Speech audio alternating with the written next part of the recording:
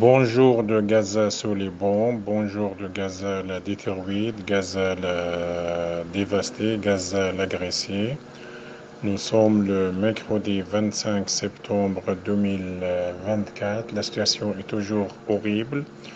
Euh, dans l'enclave palestinien enfermé, isolé et détruit totalement.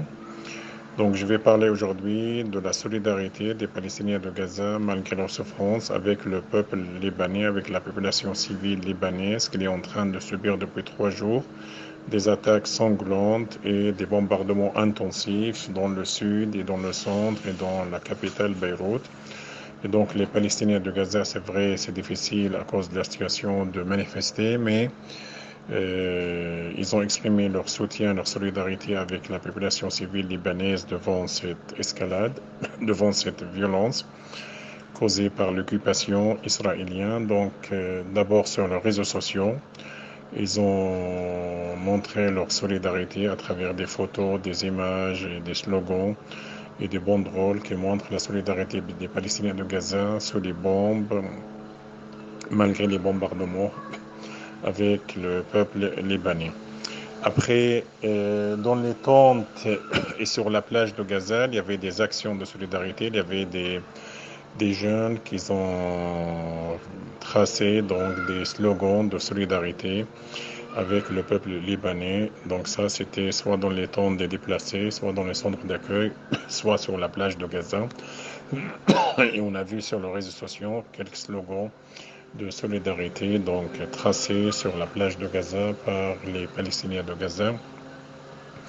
Et après, il y a des messages de soutien, il y avait des milliers de messages de soutien envoyés par les Palestiniens de Gaza sur leurs réseaux sociaux à, leurs euh, amis, donc collègues libanais, pour exprimer leur solidarité. Donc euh, la solidarité donc, euh, de Palestiniens de Gaza malgré leur souffrance est très importante pour montrer que les Palestiniens de Gaza sont avec les frères libanais, avec les amis libanais, donc la seule lutte, le seul combat pour la dignité et pour la liberté.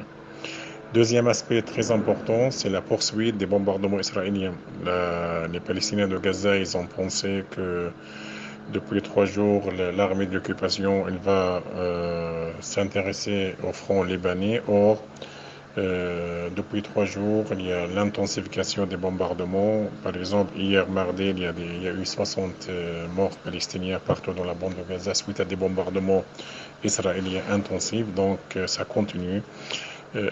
rien n'arrête cette armée donc, de, de, poursuivre leur action, leur bombardement, leur incursion militaire dans plusieurs zones euh, partout dans la bande de Gaza. Donc, euh, troisième aspect très important, les Palestiniens de Gaza, ils n'ont pas peur d'être oubliés, que les médias donc s'intéressent au Liban et oubliés, mais les Palestiniens, ils ont peur pour les, ils sont très inquiets pour le peuple libanais, parce que le peuple libanais et la résistance libanaise étaient un grand soutien pour les Palestiniens depuis le 7 octobre, depuis le début de carnage, depuis le début de cette agression horrible.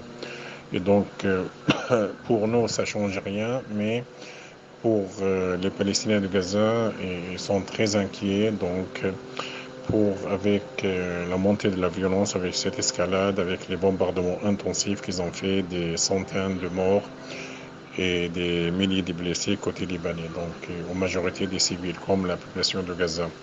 Hmm, donc, même si les Palestiniens de Gaza partagent la douleur et le, et la souffrance avec les, les Libanais qui, qui, sont en train de subir les bombardements. Il y a beaucoup de Libanais en déplacement comme les Palestiniens de Gaza.